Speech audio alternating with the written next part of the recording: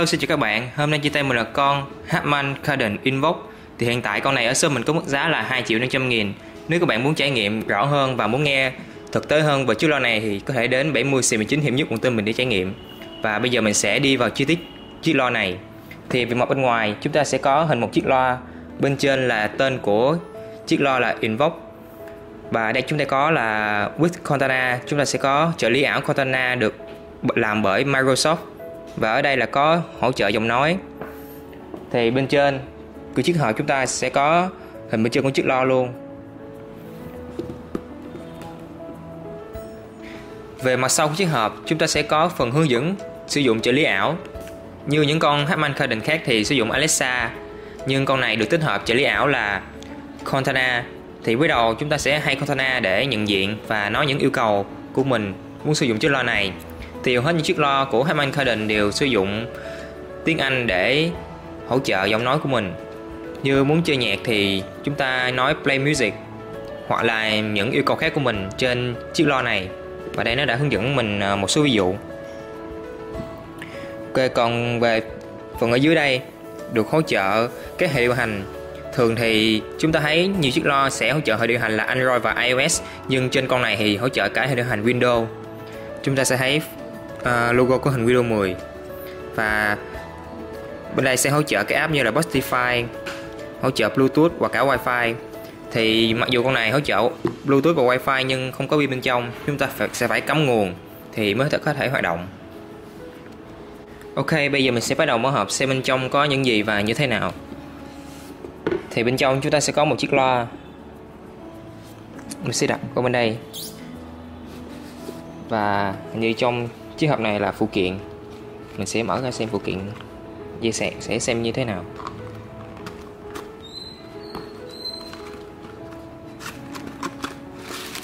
Chúng ta có một củ power cable nối liền với dây sạc để có thể cắm nguồn vào chiếc loa. Bên trong đây là sách hướng dẫn sử dụng và sách hướng dẫn bảo quản. Thì trong sách này chúng ta có cách cắm nguồn và những tính năng của chiếc loa. Ừ, mất nét rồi để mình ờ, lấy nét lại để nhìn cho rõ hơn. Ok và đây là cách sử dụng chiếc loa gồm những chức năng như là trên đây có micro như cách uh, đây là volume cách có nối wifi bluetooth này kia cách mở. Ok bây giờ mình sẽ đi trực tiếp vào cái loa luôn. Mình sẽ để cái này qua một bên. Thì về phần chiếc loa chúng ta sẽ thấy nó khá cao. Nó cao tầm khoảng 242mm và đường kính khoảng 107mm thì con này cũng khá nặng cũng gần 1 kg 1 kg ok uh, bây giờ mình sẽ thử cắm nguồn xem trên đây nó có những uh, nút gì và xem volume của nó như thế nào. Mình thấy nút xoay xoay bên đây được để trong bài hướng dẫn là volume của nó. Ok bây giờ mình sẽ bắt đầu cắm nguồn. Ok bây giờ mình đã cắm nguồn vào thì khi cắm nguồn vào nó sẽ hiện một nút đỏ ở dưới đế loa và ở trên bề mặt loa nó sẽ hiện một đường tròn đường led quay vòng tròn về phần chiếc loa thì chúng ta sẽ có một cổng nguồn, một cổng update firmware. Trên đây là một cổng micro, một nút micro chứ, và một nút bluetooth. Thì theo như mình đọc ở sách hướng dẫn, thì trên đây là tăng volume của chiếc loa. À đây, khi mình à, dặn volume thì sẽ hiện đèn như thế này. Khi mình bật nhỏ lại thì sẽ, cái đường đèn nó sẽ tối dần tối dần và tắt. Thì ở trên bề mặt của chiếc loa này gồm một nút dạng volume thì nó có 7 cái micro để xung quanh để khi, để dễ dàng nhận diện giọng nói hơn, kể cả trong môi trường ồn ào hay là nhiều tiếng như thế nào thì do con Harman Kardon này có cài đặt sẵn thuật toán, khử tiếng ồn và khử tiếng vang, nên khi ở nhà bạn có tiếng ồn như thế nào thì khi bạn gọi Cortana thì nó vẫn nhận dạng được giọng nói của bạn và thực hiện những nhu cầu mà bạn muốn nó thực hiện. I can be your DJ. Say play music. Ok, bây giờ mình sẽ thử kết nối Bluetooth với nó và xem chiếc âm của con này như thế nào. Ok, bây giờ mình sẽ bấm vào nút Bluetooth để mở Bluetooth. You're ready to pair. Go to Bluetooth settings on your phone or PC and select My Invoke One. Ok, bây giờ mình sẽ lấy điện thoại mình tìm Bluetooth của chiếc lo này và kết nối. Ok, mình đã kết nối thành công và bây giờ mình sẽ thử mở nhạc. Xem chiếc âm con này như thế nào. Thì mình cũng có tìm hiểu sơ ba con này.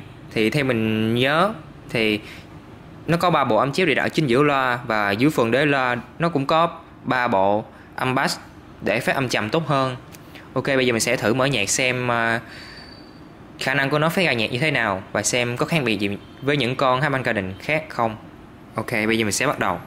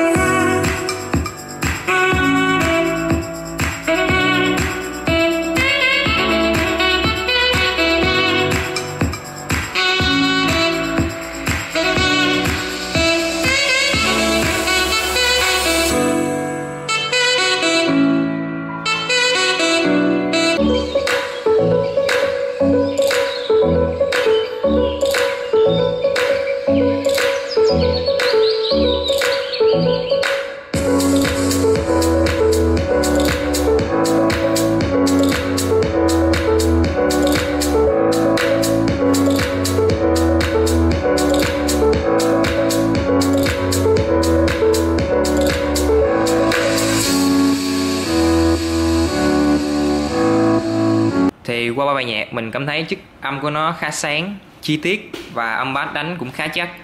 Thì do con này có khả năng chơi nhạc 360 nên khả năng phát nhạc của nó khá lớn đủ cho một diện tích phòng khách hoặc là phòng ngủ của các bạn. Thì về chất liệu thì con này cũng khá đẹp. What's blue and round and likes to tell riddles? Me. thì về chất liệu con này được làm bằng nhựa và nhôm. Thì chất liệu nhựa được để ở dưới chân loa và phần trên cảm ứng của chiếc loa phần dâm thì trải dài cả thân của loa và phần volume. Đây, volume các bạn hãy xây khi bạn mua về, bạn sẽ cảm nhận được. Dòng xe của nó khá đã. Xây rất là đã. Ok, và đây là tất cả những cảm nhận của mình về chiếc loa này. Các bạn muốn xem rõ hơn và muốn nghe chi tiết hơn chiếc loa này, Các bạn có thể đến 70 xì 19 hiệu nhất để trải nghiệm, Hoặc là muốn trải nghiệm những chiếc loa khác và những chiếc âm của những chiếc loa khác. Ok, xin chào và hẹn gặp lại.